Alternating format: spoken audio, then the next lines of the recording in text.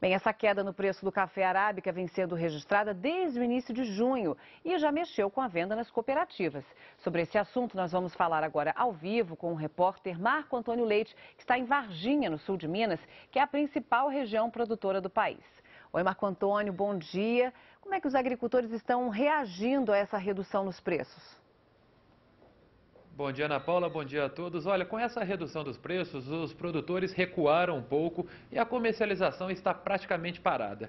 Nós falamos aqui da sede do Centro do Comércio de Café de Minas Gerais, em Varginha. Ao fundo, uma imagem da cidade. O tempo, o dia amanhecendo, com tempo firme, porém temperaturas baixas, na casa dos 11, 12 graus. Para explicar essa situação com relação à queda do preço da saca, eu converso com o presidente do Centro de Comércio de Café de Minas Gerais, Arquimedes Colineto. Arquimedes, bom dia. Quais os fatores que explicam essa oscilação no preço? Bom dia, Marco.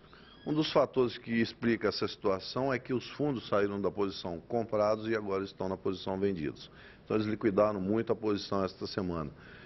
Por quê? Porque eles, é, o tempo continuou muito bom para a colheita, qualidade vem vindo muito boa e ausência de notícias de frio. Isso fez com que eles mudassem a posição. No início da safra, os preços estavam elevados. Os produtores foram pegos de surpresa?